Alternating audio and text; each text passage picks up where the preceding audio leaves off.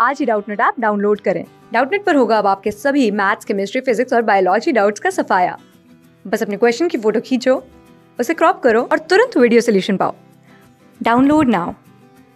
Hello friends इसको स- बोल रहा है, simple harmonic motion can be defined as dash of uniform circular motion upon diameter of a circle.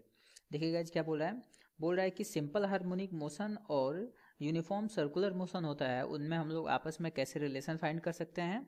और diameter of the circle के, अगर हम लोग एक यूनिफॉर्म सर्कुलर मोशन को उसके डायमीटर के अलॉन्ग देखें, उसके डायमीटर के रिस्पेक्ट में देखें तो फिर सिंपल हार्मोनिक मोशन उससे कैसे रिलेटेड होता है, ठीक है?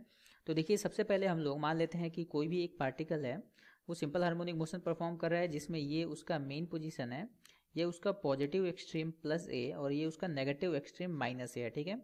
जब भी गाइज़ जैसे कोई particle simple harmonic motion perform करता है तो सिंपल हार्मोनिक मोशन का जो स्टैंडर्ड इक्वेशन होता है, वो होता है X equal to A sine omega T ठीक है?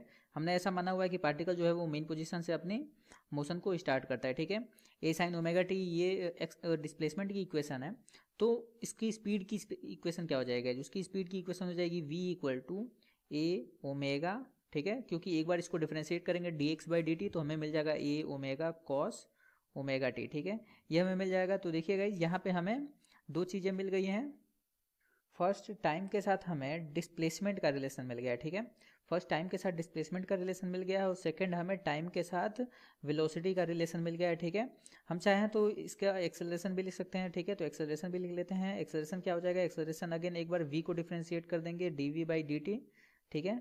तो यहाँ से हमें एक्सेलरेशन मिल जाएगा minus A omega square sine omega T ठीक है हालाँकि इसकी उतनी ज़रूरत नहीं है, हम लोग सिर्फ़ डिस्प्लेसमेंट और वेलोसिटी से ही इस बात को प्रूव कर सकते हैं, ठीक है? और इस क्वेश्चन में जो हमें बोल रहा है उसका आंसर दे सकते हैं, ठीक है? अब बात करते हैं यूनिफॉर्म सर्कुलर मोशन की। मान लेते हैं कि हमारे पास एक पार्टिकल है जो सर्कुलर मोशन परफॉर्म कर ठीक है? तो मान लेते हैं ये सर्कल है, ठीक है? ये एक सर्कल है और पार्टिकल जो है एक इस पर यूनिफॉर्म सर्कुलर मोशन परफॉर्म कर रहा है, ठीक है? ये इसके दो डायमीटर मैंने मान लिए हैं, ये इसका सेंटर है। और मान लेते हैं कि इसका जो रेडियस है वो ए के बराबर है और ये वही ए है जो यहाँ पे एम्पलीट्यूड था, ठीक है? ऐसा हमने मान लिया। अगर पार्टिकल जो है वो सर्कुलर मोशन परफॉर्म कर रहा है तो उसकी कुछ एंगुलर स्पीड भी होगी तो इसकी एंगुलर स्पीड को हम लोग मान लेते हैं ओमेगा ठीक है गाइज़ और यहाँ से ये पार्टिकल जो है अपनी स्पीड अपने मोशन को स्टार्ट करता है। यहाँ से पार्टिकल में मोशन को स्टार्ट करता है एंगुलर स्पीड ओमेगा से। तो टी टाइम बाद कितना एंगल वो रोटेट हुआ होगा? टी टाइम बाद मान लेते हैं कि पार्टिकल जो था वो कुछ यहाँ पे आ गया, ठीक है? मान लेते हैं टी टाइम बाद पार्टिकल अगर यहाँ पे आ गया और ये एंगल रोटेटेड जो है वो थीटा है तो थीटा की वैल्यू हम लोग लिख सकते हैं गाइज़ यहाँ से थीटा इक्वल टू क्या हो जाएगा?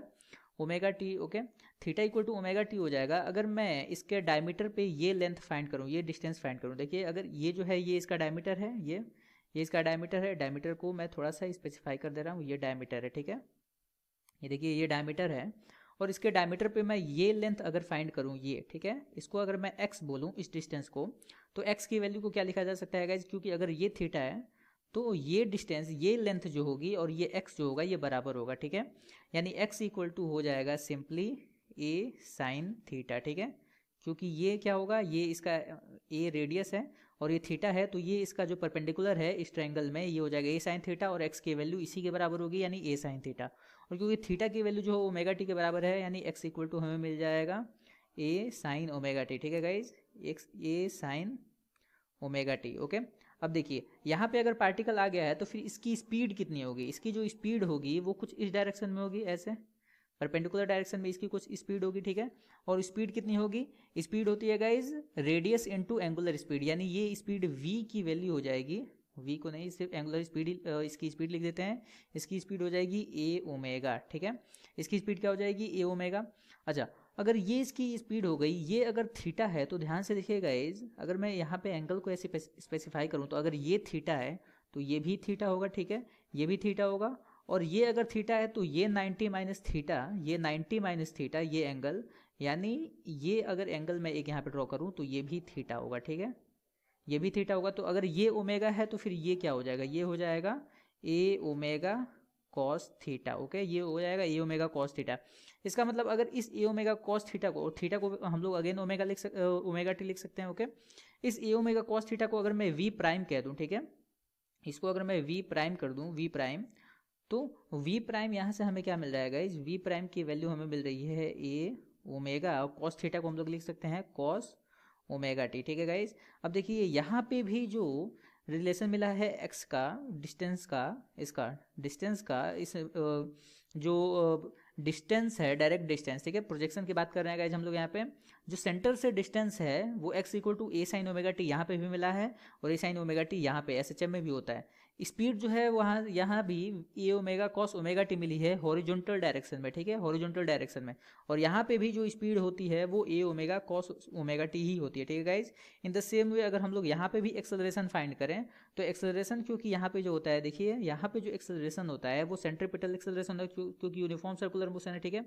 तो एक्सेलरेशन इस डायरेक्शन में आएगा और इस इस एक्सेलरेशन का कंपोनेंट अगर फाइंड करें इस डायरेक्शन में तो हमें एक्सेलरेशन की जो वैल्यू मिलेगी, वो भी बिल्कुल सेम मिलेगी ए प्राइम और ए प्राइम की वैल्यू हमें यहाँ मिल जाएगा A minus A omega square sine omega T ठीक है गाइज़ ये हमें मिल जाएगा यहाँ पे भी। सेम रिलेशन बिल्कुल डिक्टो ऐसे ही जैसे यहाँ पे हमें एस एच एम में मिलता है। इसका मतलब क्या गाइज़ रिलेशन क्या है? यहाँ से हम लोग देख सकते हैं कि जो हॉरिजॉन्टल कंपोनेंट है, ठीक है? जो हॉरिजॉन्टल कंपोनेंट है, इस सर्कुलर मोशन के जो हॉरिजॉन्टल कंपोनेंट है, वो एस एच एम से कोइंसाइड कर रहे हैं, ठीक है? इसका मतलब इसकी स्पीड का जो हॉरिजॉन्टल कंपोनेंट था इसके डिस्प्लेस ये जो इस, जितना डिस्प्लेस हुआ उसका हॉरिजॉन्टल यानी ये एक्स या फिर इसका जो सेंट्रीपिटल एक्सेलरेशन था सेंटर की तरफ़ उसका हॉरिजॉन्टल और एक्चुअली में गाइज़ ये हॉरिजॉन्टल भी नहीं है ये है जिस डायमीटर के रिस्पेक्ट में हम लोग देख रहे हैं उसके पैरेलल ठीक है?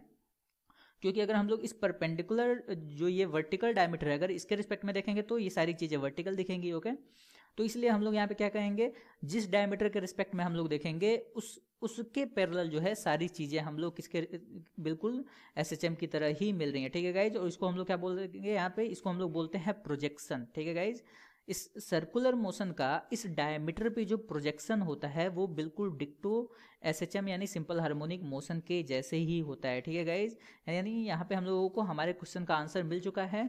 Simple harmonic motion can be defined as projection ठीक है? यहाँ पे क्या हो जाएगा? Projection projection of uniform circular motion upon a diameter of the circle देखिए, अब यहाँ पे इस चीज़ को अगर हम यहाँ यहाँ पे मैच करते हैं तो इस सर्कुलर मोशन में, इस सर्कुलर मोशन का स्पीड इसकी एक्सेलरेशन और इसका जो डिस्प्लेसमेंट था, उसका इस डायमीटर पे प्रोजेक्शन जो है, वो वैल्यू हर जगह यहाँ हमें एस एच एम के जैसे ही मिली है। तो होप आपको ये कॉन्सेप्ट समझ में आया होगा। थैंक यू क्लास सिक्स से ट्वेल्थ से लेके NEET I I T JEE mains और एडवांस के लेवल तक। दस मिलियन से ज़्यादा स्टूडेंट्स का भरोसा। आज ही डाउनलोड करें डाउट नेट आप या व्हाट्सअप कीजिए अपने डाउट्स आठ चार सौ चार सौ चार सौ पर।